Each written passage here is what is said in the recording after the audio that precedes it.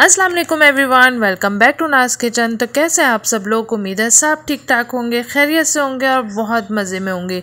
आज मैं आपके साथ बहुत ही मज़ेदार सी नान खताई की रेसिपी शेयर करूँगी। बहुत ही मज़ेदार से और बहुत ही क्विक बनने वाले नान खताई है ये। इसमें आपको कोई ज़्यादा मिक्सिंग वगैरह करने की बीट करने की ज़रूरत नहीं है। बहुत ही सिंपल और आसान तरीका मैं आपको बताने वाली हूँ और इसके जो रिज़ल्ट है ना, वो देख के आपका दिल खुश हो जाएगा। इतनी कोई ज़बरदस्त नान खताई बनती है ना, बहुत बहुत ही मज़ेदार बनती है। आप लोग ज़रूर ट्राई कीजिएगा। इन आप लोगों को बहुत पसंद आएगी। इसे आप बना के एयर टाइट बॉक्स में भी रख सकते हैं। आराम से एक हफ़्ता, पंद्रह दिन बिल्कुल भी ख़राब नहीं होगी और आप लोग इसे बना के सेव करें और चाय के साथ एंजॉय करें। इसका रिज़ल्ट आप देखें कितना ज़बरदस्त है। आप लोग जब बनाएँगे तो बहुत आपको पसंद आएगी इन तो चलें रेसिपी को स्टार्ट करते हैं। यहाँ मैंने एक कप मैदा लिया है, मेजरिंग कप से नाप के, और ये हम इसके अंदर डाल देंगे। और एक कप ही मैंने बेसन लिया है। इसमें थोड़ा बेसन ज़्यादा जाता है नान खताई में। अगर आपको कम बेसन वाली पसंद हो तो एक और भी मेरे चैनल पे है तो आप वो भी देख के बना सकते हैं। ये ज़्यादा बेसन इसमें ऐड होता है। और ये मैंने हाफ़ कप इसमें चीनी पिसी हुई ऐड करी है और वन टीस्पून इलायची का पाउडर ऐड किया है और वन टीस्पून बेकिंग पाउडर इसमें ऐड करेंगे। और वन एट टीस्पून इसमें जो खानों का सोडा होता है, पकौड़ों में जो यूज़ होता है, वो इसमें डालेंगे वन एट टीस्पून आपने डालना है, बहुत ज़्यादा नहीं डालना। और बस इन सब चीज़ों को अच्छी तरीके से मिक्स कर लेंगे।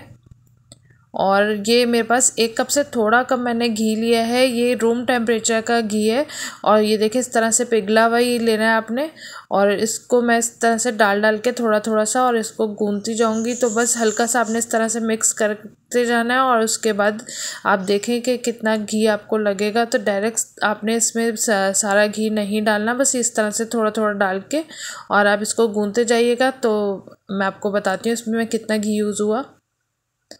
तो ये देखें, ये थोड़ा सा घी मेरे पास बच गया और ये इस तरह से जब कंबाइन हो जाए डो आपकी तो ये इस तरह से नज़र आनी चाहिए। तो ये मैं इसको दस मिनट के लिए फ्रिज में रख दूँगी और ये देखें, इतना घी टू टेबल स्पून के करीब मेरे पास बच गया है। तो आप सारा एकदम से ऐड नहीं करिएगा।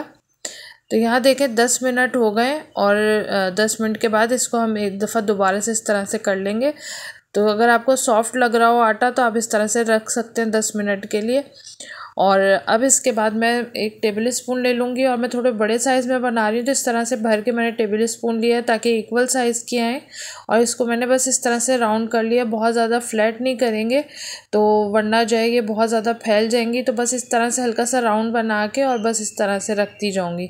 और मैंने ट्रे में बटर पेपर लगा लिया था और कोई ग्रीस वगैरह नहीं किया है, इसमें पहले ही इतना घी है तो इसको ग्रीस करने की ज़रूरत नहीं है। तो बस सिंपल इस तरह से राउंड बना के और इसको आप रखते जाएँ। बस छोटी या बड़ी आपको अपने हिसाब से जितनी भी रखनी हो आप अपने हिसाब से कर सकते हैं। और यहाँ पे मैंने एक अंडे की जर्दी ले ली है और इसको अच्छी तरह से बीट कर लेंगे। आप चाहें तो पूरा अंडा भी लगा सकते हैं, लेकिन अंडे की जो जर्दी लगाते हैं ना तो उससे ज़्यादा अच्छा कलर आता है। तो मैं इसमें सिर्फ़ जर्दी यूज़ कर रही हूँ। तो ये सब पे लगा देंगे इस तरीके से। अवन को मैंने प्री हीट करने के लिए रख दिया था 180 डिग्री पे 10 मिनट पहले और 180 डिग्री पे ही हम इसको बेक करेंगे तकरीबन 20 मिनट के लिए। और आपने अपने अवन के हिसाब से देखना है क्योंकि हर अवन का टेम्परेचर अलग अलग होता है। तो अगर आपका अवन देख लिएगा कितनी देर में बेक करता है, वन ट्वेंटी मिनट में ही अच्छी तरह से बेक हो जाती हैं। अगर आपकी ट्वेंटी मिनट में ना हो तो ट्वेंटी फाइव मिनट पर आप देख लिएगा और इसका जो नीचे से कलर है वो बहुत ज़्यादा डार्क ना हो, इस बात का ध्यान रखिएगा। तो अल्हम्दुलिल्लाह, ये देखिए हमारी बहुत ही मज़ेदार सी नान कताई बीस मिनट में बन के रेडी हो गई हैं और कितनी अच्छी और साइज़ में भी फूल गई हैं और डबल हो गई हैं। तो बस आपने इसको इसी तरह से पाँच मिनट छोड़ देना है, वरना तो ये बिखर जाएँगी। गर्म में आपने इसको बिल्कुल भी नहीं हिलाना जुलाना। और उसके बाद मैं आपको ये देखे कलर दिखा रही हूँ, इसका कलर कितना परफेक्ट आया है। इसमें बहुत ज़्यादा गोल्डन कलर नहीं होता, नीचे से हल्का लाइट ब्राउन सा कलर होता है और वही अच्छा लगता है। ज़्यादा कलर दे देंगे तो फिर बिल्कुल भी अच्छा नहीं लगेगा। और ये इस तरह से जब पाँच मिनट हो जाए तो उसके बाद आप इस तरह से कूलिंग रैक के ऊपर इस तरह निकाल के रख लें और इसको ठंडा कर लें अच्छी तरह। जब ये ठंडा हो जाए, उसके बाद आप इसे सर्व करें। तो ये देखें कितना परफेक्ट कलर इसका है। इसी तरह का कलर आपने देना है। डार्क कलर बिल्कुल भी नहीं देना।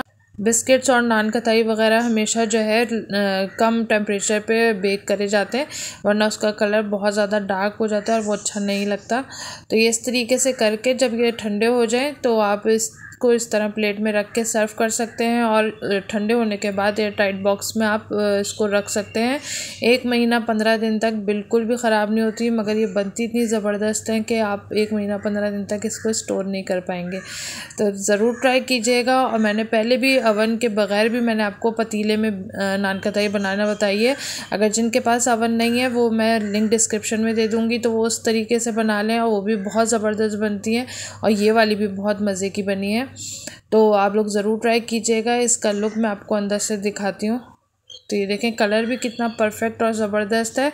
कोशिश करिएगा जब आप बेक करें तो नीचे से ज़्यादा गोल्डन ब्राउन ना हो, इसी तरह का कलर है। तो ये देखें, अंदर से कितनी ज़बरदस्त फूली हुई, माशाल्लाह बहुत ही ज़बरदस्त खस्ता नान कताई हमारी बन के तैयार हुई हैं।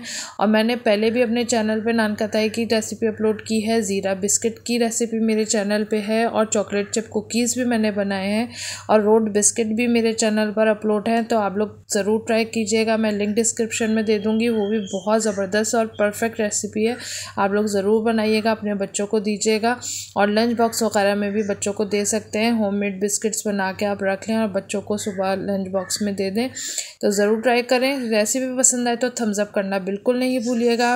और चैनल पर नए हैं तो सब्सक्राइब ज़रूर कर दीजिएगा और बेल आइकन के बटन को ज़रूर प्रेस कीजिएगा। इससे मेरी हर नए आने वाली वीडियो का नोटिफिकेशन सबसे पहले आपको मिलेगा। मुझे दुआओं में याद रखिएगा, अपना ढेर सारा ख्याल रखिएगा। मिलूँगी नेक्स्ट वीडियो में एक नई और ज़बरदस्त रेसिपी के साथ। थैंक्स फॉर वॉचिंग अल्लाह हाफिज़।